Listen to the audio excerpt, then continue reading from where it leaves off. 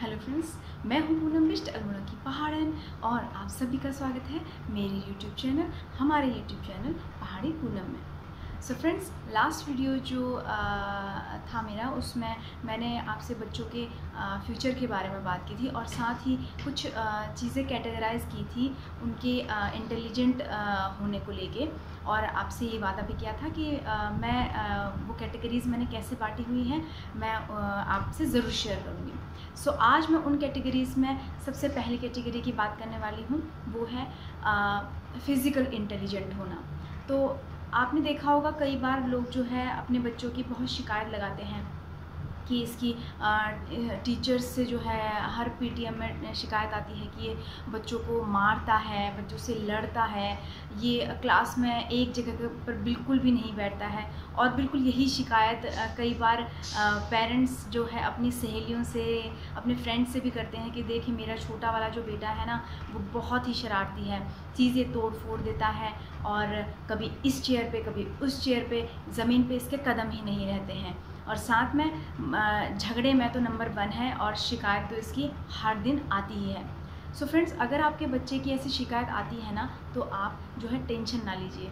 आप खुश हो जाइए क्योंकि आपका बच्चा जो है वो बहुत ही एनर्जेटिक है क्योंकि बच्चे का फिज़िकली इंटेलिजेंट होना और आ, एनर्जी का बिल्कुल सीधा सीधा संबंध है। आप देख आपने देखा है जो पानी होता है पानी जब नदी में यूँ ही बह रहा होता है नदी नालों में बह रहा होता है तो सिर्फ़ वो पानी कहलाता है। लेकिन जब उसको एनर्जी को यूज़ किया जाता है किसी भी तरीके से तो या तो वो हाइड्रो पावर बनता है, यानी कि उससे बिजली भी बनती है और साथ में उससे पवन चक्की भी पवन चक्की भी चल सकती है। हमारे जो घट होते हैं, घराट जिन्हें कहते हैं उत्तराखंड में, वो भी आपने देखा होगा, पानी के फोर्स से ही चलाए जाते हैं, यानी कि एनर्जी का सही तरीके से यूज़ करके उसको यूज़फुल बनाया जा रहा है। तो फ्रेंड्स अगर आपका बच्चा इस तरीके से शैतानी कर रहा है तो उसके अंदर एक वॉरियर वैसे ही जन्म ले चुका है। वो एक एज अ वॉरियर इस दुनिया में आया है। आप उस वॉरियर को जो है, किस तरफ़ ले जा सकते हैं, ये आपके ऊपर डिपेंड करता है।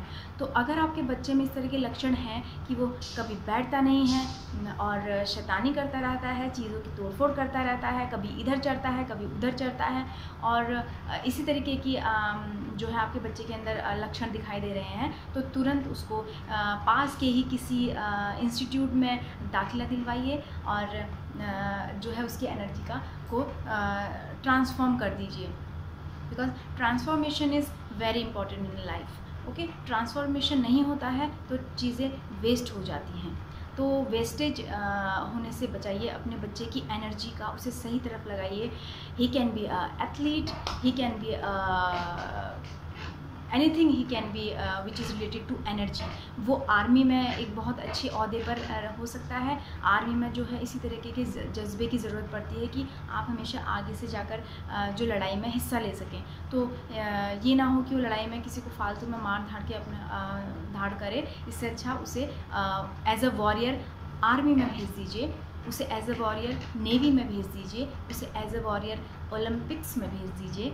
और देखिए आपको जो है अपने बच्चे के इसी लक्षण को पहचानना है। अगर ये लक्षण आपके बच्चे में है ना तो वो फिज़िकली इंटेलिजेंट है और बहुत ही इंटेलिजेंट है। आप उसके इंटेलिजेंट होने की शिकायत मत करते रहिए। उस तरफ़ एक स्टेप आगे बढ़ाइए कदम और पहुँचा दीजिए। उसकी एनर्जी को उस लेवल तक जहाँ पर उस एनर्जी की बहुत ज़रूरत है ज़रूरत है। तो फ्रेंड्स आप आई होप आपको ये वीडियो पसंद आया होगा, ये टिप्स पसंद आई होगी और आप अपने बच्चे की शिकायत करने से अब बचेंगे। आज की वीडियो के लिए इतना ही। अगली कैटेगरी जो है, आपके सामने लेकर मैं जल्दी आऊँगी। तब तक थैंक यू एंड बाय जय देवभूमि, जय उत्तराखंड।